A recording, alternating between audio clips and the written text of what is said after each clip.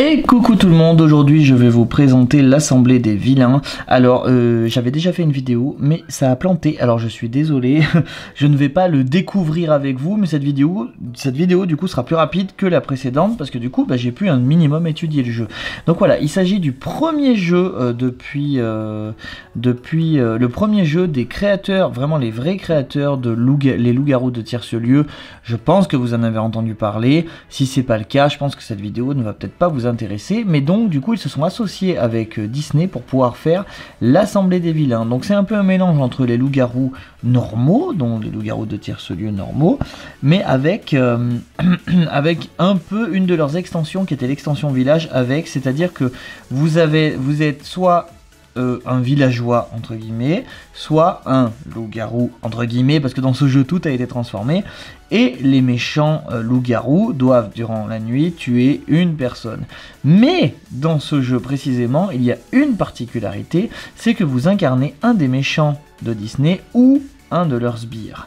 Et chacun des personnages, donc vous le savez, dès le début, vous tournez votre carte, tout le monde sait que vous êtes maléfique, par exemple, mais on ne sait pas si vous êtes un méchant ou un gentil, donc si vous avez le pouvoir de tuer quelqu'un dans la nuit ou non. Et donc dans l'extension du, euh, dans l'extension village euh, des loups-garous de tierce-lieu au départ, et eh ben c'est pareil, euh, tous, les, tous les gens avaient un pouvoir dans la journée en plus. Et dans celui-là, donc, hop, chaque personnage a un pouvoir, une capacité spéciale, en plus de celui de tuer dans la nuit.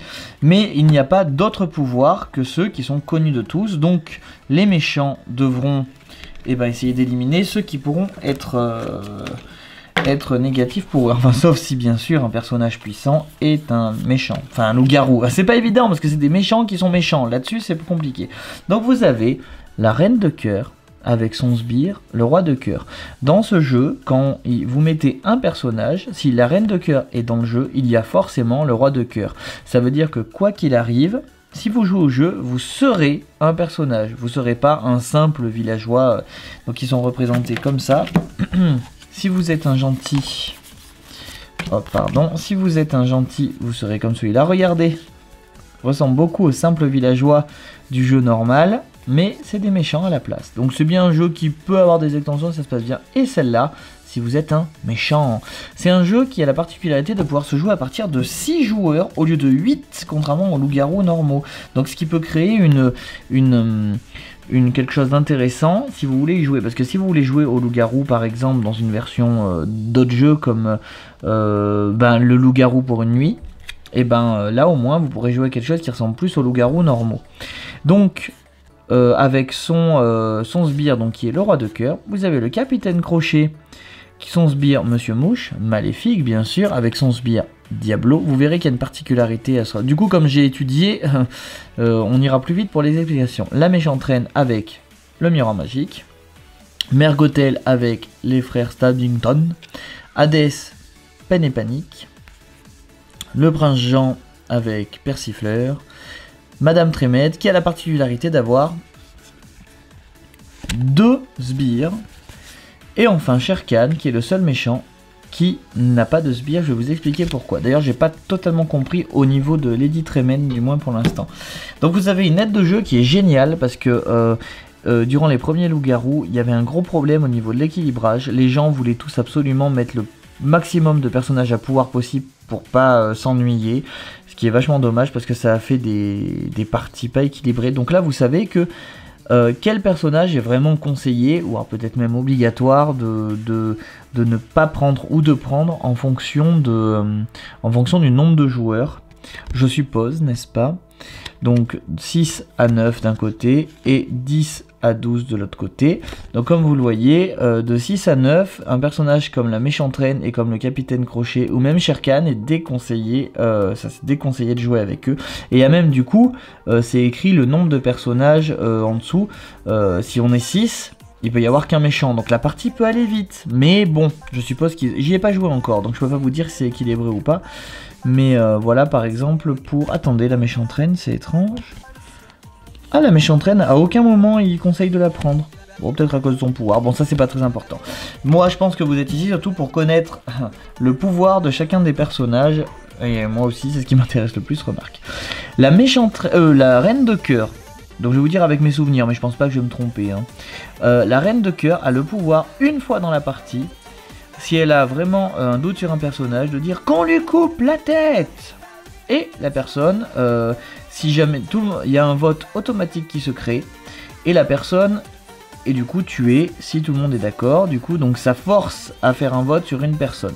Il y a moyen avec ce, euh, personnage de, il faut faire attention, il faut être sûr de ce qu'on fait quand on est, euh, quand on est la méchante, enfin la reine de cœur. Donc si vous tombez sur un sbire, les sbires n'ont aucun pouvoir. Et ce qui a l'air d'être marrant entre guillemets, c'est que si vous êtes un traître avec la méchante reine et euh, et un gentil avec le roi de cœur, et bah du coup vous êtes pas, en- enfin voilà, vous êtes sbires mais vous travaillez pas ensemble. C'est ça que je trouve étrange. Faudra que j'étudie. Le capitaine Crochet, donc c'est lui qui a la corde. Si jamais, euh, donc c'est lui qui le, si je dis pas de bêtises, hein, je, je vais peut-être relire pour pas vous dire de bêtises, mais le capitaine Crochet en fait, il pose sa corde sur quelqu'un. Et si, euh, si le capitaine Crochet meurt, et ben il emmène la personne avec lui, en fait. Donc attendez, je vais regarder pour être bien sûr, mais euh, au début de chaque journée, le capitaine Crochet emprisonne temporairement un joueur. Donc voilà, donc euh, ça peut... Il faut faire attention avant de tuer le capitaine Crochet, parce que vous pouvez éliminer deux personnes de votre camp, donc ça peut, être compliqué, avec donc Monsieur Mouche. Maléfique, donc un personnage qui euh, est assez intéressant. Elle remplace un peu la voyante, mais du coup vous pouvez être à la fois un traître et en même temps voyant. Du coup c'est genre super puissant. Mais ce qui se passe, c'est que Maléfique, elle ne voit pas directement. En fait, Maléfique choisit une personne autour de la table, et c'est Diablo qui sait euh, la, réelle, identité de la personne. Donc c'est assez, c'est assez, euh, assez intéressant quoi comme principe. Et du coup, Diablo pourra ensuite faire part à Maléfique. euh, Enfin voilà, c'est. Mais si Diablo est gentil et Maléfique méchant, et ben il va mentir à Maléfique. Vous voyez, s'il est pas sûr de, de son truc secret. Ensuite, la méchante reine. Dans la partie, à un moment, elle peut dire toi, grâce au miroir magique, du coup, enfin grâce euh, parce que c'est la méchante reine quoi. Et ben, elle peut voir euh, l'identité de quelqu'un. Enfin, on retourne la carte. Si jamais c'est un méchant, il est automatiquement mort. Si c'est un gentil, et ben, on sait qu'il est gentil. Voilà. Ensuite, nous avons Mergotel. Alors elle, c'est marrant parce que dans un jeu de méchants, mais en fait, euh, dans la partie, je sais pas si c'est une fois dans la partie ou au début de chaque tour. Excusez-moi, je regarde parce que je l'ai lu qu'une fois. Euh, Mergotel. Chaque nuit, à chaque fois qu'il y a une, euh, à chaque fois qu'il y a une nuit, le maître du jeu dit Mergotel, euh, réveille-toi. Du coup, enfin réveille-toi, non, mais parce que tout le monde sait qui est Mergotel. Elle pourra désigner quelqu'un qu'elle protégera, donc elle enferme en fait, comme dans son truc, et du coup il sera protégé des méchants. Hadès, c'est un peu comme la sorcière en fait, Hadès, mais, sans la potion de mort, c'est-à-dire qu'une fois par partie, Hadès peut sauver un joueur que les loyaux ont choisi d'éliminer. Prince Jean, alors lui, euh, il remplace un peu le, le maire, parce que quand il arrive dans la partie, si je dis pas de bêtises, bah, c'est lui qui a la couronne. Le prince Jean commence la partie avec la carte couronne, voilà, c'est ça. Et avec donc avec ceci. Et donc si j'aime tant qu'il a la couronne, tant qu'il est vivant, du coup, eh ben euh, il a un vote en plus, un peu comme le maire. C'est lui qui départage euh, en cas d'égalité. Et s'il meurt, il peut choisir à qui il donne la couronne. Donc il y aura toujours une forme de maire. Donc du coup, le maire a un peu un rôle dans ce jeu-là. Et enfin, Lady Tremette, donc c'est un personnage que je... Euh, avant-dernier personnage. C'est un personnage que je comprends pas parce qu'elle n'a pas de pouvoir particulier. C'est juste qu'elle a deux sbires. Donc voilà, je, je sais pas, je sais pas encore l'intérêt, euh, comme j'ai pas joué au jeu, l'intérêt des sbires, comme ils ont pas de pouvoir, en sachant qu'ils ne peuvent ne pas avoir le même rôle que nous. Donc je suppose que voilà, c'est pas un personnage à jouer quand il n'y a pas beaucoup de, joueurs, et je suppose qu'ils le disent là. C'est à partir de 7 joueurs, parce que ça veut dire que trois personnages euh, bah, ne sont pas forcément ensemble, mais voilà, est-ce que c'est pour créer plus de personnages sans pouvoir? Ah, peut-être que c'est ça, peut-être que c'est ça, mais quand elle est dite remède, ça te rapporte rien, quoi. Ah bah c'est écrit, ah bah, en plus c'est écrit derrière le pouvoir, vous voyez, je les avais même pas retournés. Vous êtes celui qui prend les décisions de... Ouais, voilà, c'est ça. Donc du coup, je sais pas trop à quoi ça sert. Donc excusez-moi hein, si je passe à côté d'une particularité du jeu. Et enfin, Sharkan, alors lui, c'est sympa. Euh, il n'a pas d'acolyte du tout. Par contre, à chaque fois qu'il vote pour quelqu'un, il a une marque de griffe devant lui. Donc en gros, il le blesse, quoi. On va dire que c'est ça. Et à chaque... euh, il est- puissant. je trouve qu'il est puissant.